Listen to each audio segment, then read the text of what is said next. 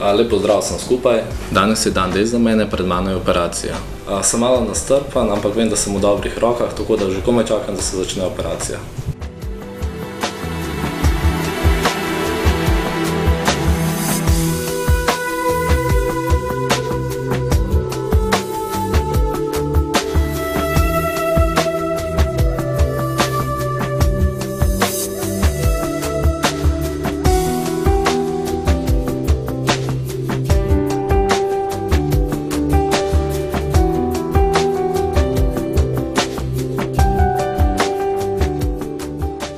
Sve preoperativne pripreme su napravljene.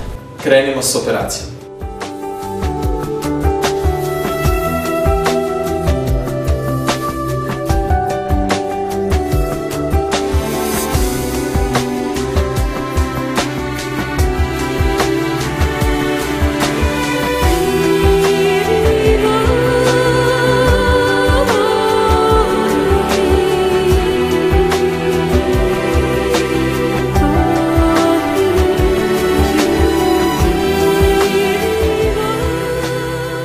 Sve operacije su uspješno obavljene. Sada Borisa čeka oporavak.